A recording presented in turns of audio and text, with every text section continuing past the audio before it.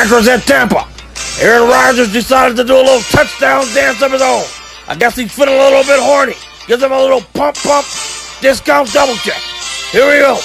Tampa Bay Buccaneers doing what it is that they do. Tom Brady gets it over. What? And it's a touchdown Gronkowski. Oh, how sweet it is. This is the 91st time Gronkowski's got a touchdown pass from Tom Brady. And right after this, it went crazy. And the Tampa Bay Buccaneers just fucked over the Green Bay Packers. Tampa Bay's gonna win this game. A little message to discount double check Aaron Rodgers. I wouldn't shake my penis until the fourth quarter, and you've actually won the fucking game. Here's a bizarre play with a butt interception. Ball is picked off right on the butt cheek. That's one of the strangest picks I've ever seen. He catches the football right on his butt cheek, runs it back the other way. Jets get blown out there. Dolphins win. Atlanta Falcons, my God, how the dead has risen. Touchdown pass from Matt Ryan on Julio Jones. Julio Jones has been injured, but he hasn't done shit. I'm glad he did today because he's on my fantasy football team. Here's another completion to the black guy with the Mexican guy's name. Julio Jones runs it all the way and he knocks him out of bounds right there. Matt Ryan's again.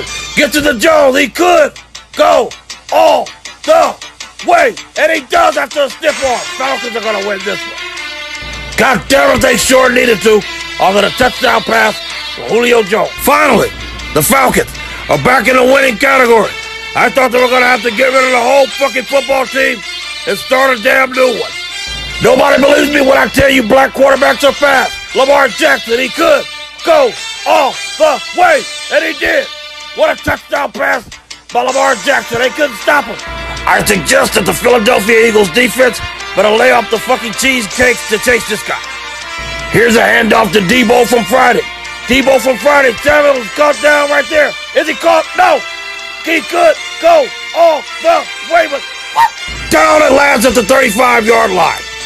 Really don't know how the fuck they didn't have him down, but the referees don't call it back and he gets away with it. Jimmy Garoppolo absolute fire this game. Garoppolo gets to the Kittle. He could go all the way. George Kittle, touchdown 49ers. And the 49ers blew the fucking Rams out of the water. The team with no name, Washington football team, gets a touchdown pass to Thomas. You would have thought that would have been enough to win this game with all the work they put in against the New York football Giants. But it wasn't enough. The Giants win this game. Hand off to Conner, rumbling and mumbling. And he busts through the fucking Browns defender and scores a touchdown. The Steelers are 5 0, still balling.